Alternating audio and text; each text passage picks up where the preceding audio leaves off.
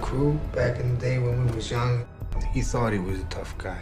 Then the neighborhood changed. It wasn't enough to be tough no more. You know, you had to be mean. One who truly represents what this fan base is all about. Gotta be scary. Come on in.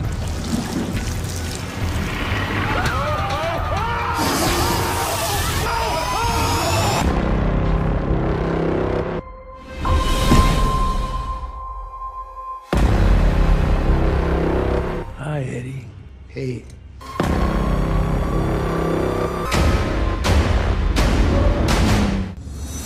It's not about trying to be the ultimate.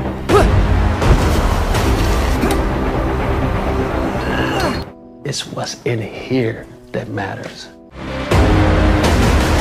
You can do this. You got this. You think so? When I get out of here, and I will, there's gonna be carnage.